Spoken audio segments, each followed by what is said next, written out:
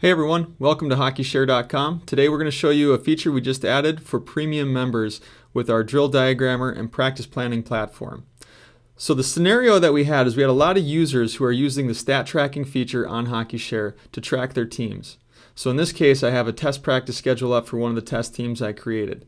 Before there was no way to actually link a practice plan you create for one of these practices to the actual practice on the schedule. So what we did is now we allowed uh, users to be able to go in and actually associate their practice plan with a specific practice on the calendar. And the way we do this is if you're creating a new plan or you're editing an existing one, if you're a premium member, you'll see associate an option that says associate with practice.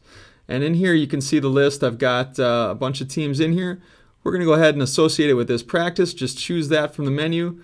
Click on Update Practice Plan.